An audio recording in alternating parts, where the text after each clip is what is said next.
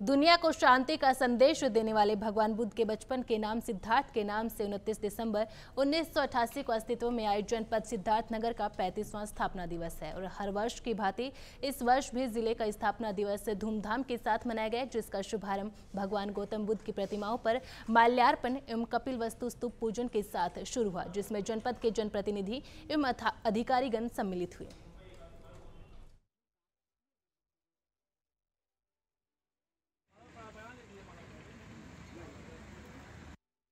आज ही के दिन उनतीस दिसंबर उन्नीस सौ नवासी को सृजित हुआ जनपद सिद्धार्थनगर का आज स्थापना दिवस है। आप देख पा रहे हैं, हम इस समय जनपद सिद्धार्थनगर के कपिल वस्तु में है। ये सिद्धार्थनगर का ये कपिल वस्तु स्तूप है, आप यहाँ देख पा रहे हैं। यहाँ सिद्धार्थ बताया जाता है कि गौतम बुद्ध की यहाँ जो है बचपन बीता है। यहाँ ये खेल रहे थे, यहाँ इन्होंने शिक्षा वगैरह ग्रहण किया था और बगल में ही लुम्बनी जो उनकी राजधानी है।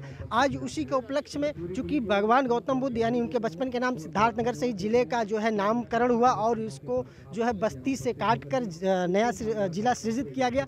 ज़िला अपने चौंतीस वर्ष का सफ़र पूरा कर चुका है। हालाँकि अगर देखा जाए तो जब ये ज़िले का सृजित हुआ तो ज़िला बिल्कुल ही संसाधनों से विहीन था, लेकिन धीरे धीरे प्रगति की राह पर चला और चौंतीस वर्ष के सफल में एक अच्छा मुकाम हासिल किया। लेकिन कहीं ना कहीं औद्योगिक शून्यता और जनसंख्या के सापेक्ष बढ़ती बेरोजगारी आज भी परेशानी का सबब बनू, बना हुआ है और यहाँ जो है, यहाँ से काफ़ी लोग माइग्रेट करते हैं। आज भी ये जनपद पिछड़े में गिना जाता है क्योंकि अभी तक कोई ऐसी व्यवस्था नहीं बन पाई कि यहाँ कोई औद्योगिक इकाई लगाई जा सके जिससे जो है रोज़गार सृजित हो। हालाँकि सरकार जो है, बीजेपी गवर्नमेंट लगातार प्रयास कर रही है, चाहे केंद्र सरकार हो, चाहे प्रदेश सरकार हो, लगातार प्रयास कर रही है कि ज़िले को आगे बढ़ाया जाए और तमाम चीज़, जिला शून्य था, लेकिन आज शिक्षा शिक्षा के मामले में हेल्थ के मामले में एक बढ़िया मुकाम हासिल किया है। रोड अच्छे अच्छे रोड बन गए हैं मेडिकल कॉलेज हो गया है और यहाँ तक कि यूनिवर्सिटी बगल में स्थापित हो गया। तो बहुत उन्नति करी, चौंतीस साल के सफ़र में बेहतर मुकाम हासिल किया। लेकिन कहीं ना कहीं आज भी ये तमाम चीज़ों में, खासकर बेरोज़गारी के मामले में, खासकर औद्योगिक क्षेत्र के मामले में आज भी पिछड़ा है और लोगों की समस्या आज भी बरकरार है। लेकिन हाल फ़िलहाल आप देख पा रहे हैं,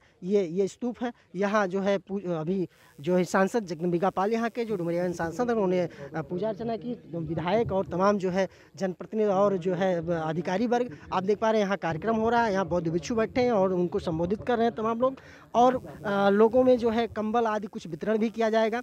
हर साल यही होता है, स्थापना दिवस के रूप में मनाया जाता है। बड़े हर्षोल्लास हर्षोल्लास से मनाया जाता है और जनपद का ये उनतीस दिसंबर को स्थापना दिवस होता है और उस दौरान एक भव्य कार्यक्रम होता है। इसके उपलक्ष्य में फिर अन्य कार्यक्रम होते हैं जिसको हम सिद्धार्थनगर महोत्सव के रूप में पहले कपिल बस महोत्सव के रूप में जानते थे अब सिद्धार्थनगर महोत्सव के रूप में जानते हैं लेकिन हालाँकि वो बाद में होता है लेकिन आज स्थापना दिवस है।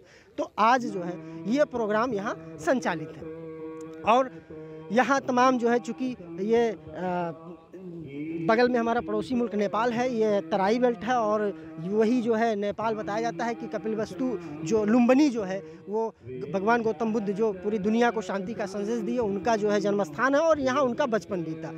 इसीलिए इस जनपद का नाम सिद्धार्थ नगर रखा गया। तो आज उसका स्थापना दिवस है, आप देख सकते हैं, तमाम गणमान्य लोग हैं और हालाँकि यह पर्यटन स्थल के रूप में विकसित किया गया, लेकिन एक दिन खास होता है जिस दिन यहाँ ज़िले के आला अधिकारी और तमाम जनप्रतिनिधि आते हैं और यहाँ जो है पूजन अर्चन करके और जो है एक आभार प्रकट करते हैं भगवान गौतम बुद्ध के लिए। और दूसरी चीज़, जो जनपद का सफ़र है, जो जनपद ने अपना सफ़र तय किया है, जो जनपद में तमाम विकास की योजनाओं को धरातल पर आयाम दिया गया है, उसके विषय में लोगों को जानकारी देते हैं। सिद्धार्थनगर से नोतेज टीवी के लिए मैं रवि शर्मा।